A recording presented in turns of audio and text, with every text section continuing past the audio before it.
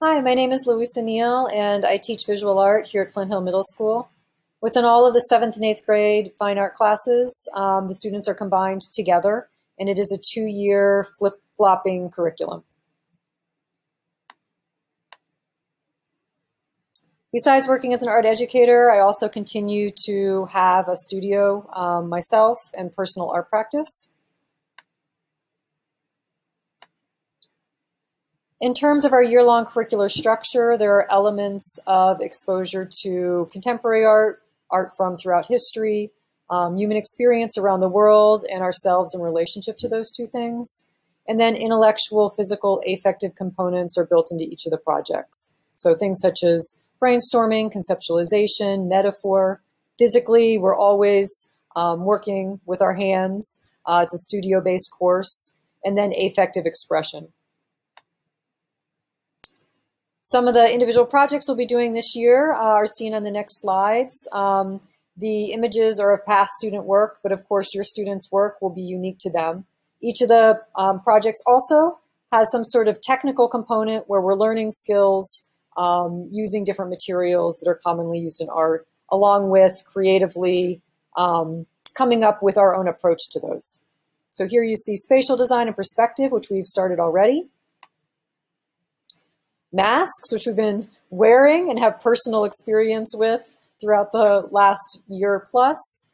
Um, we'll also be looking at theatrical reasons people use masks to convey character, ritual um, from throughout history. Students will be designing masks and creating them three-dimensionally. Our digital photography unit this year will be focusing on connection to place.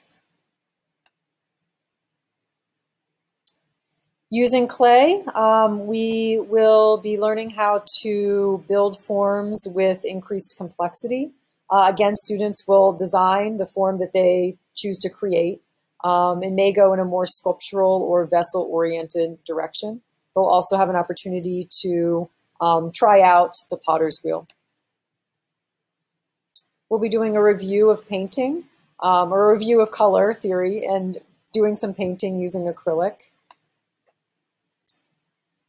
We'll also be learning about how to draw people, so technically proportion, um, but then in terms of expression, uh, how to convey a sense of self. Um, so beyond just representative portraiture, students will also have an independent project as part of this unit, and um, it may not be, it may be approached in a more abstract way. Throughout the year, students keep sketchbooks. Um, they were given to them on the first day and are kept in the classroom. And um, the first thing they do when they come in is to do an entry in a sketchbook to help develop ideas.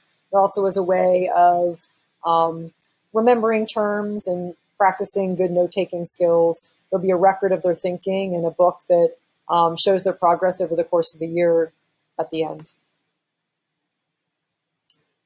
Um, studio skills are also something that are essential to what we do in the art room and can be applied uh, in many different arena as well. Um, so diving into creative process, thinking beyond the obvious, um, contributing personal perspective is super important in terms of class discussion and hearing from each of the students and listening.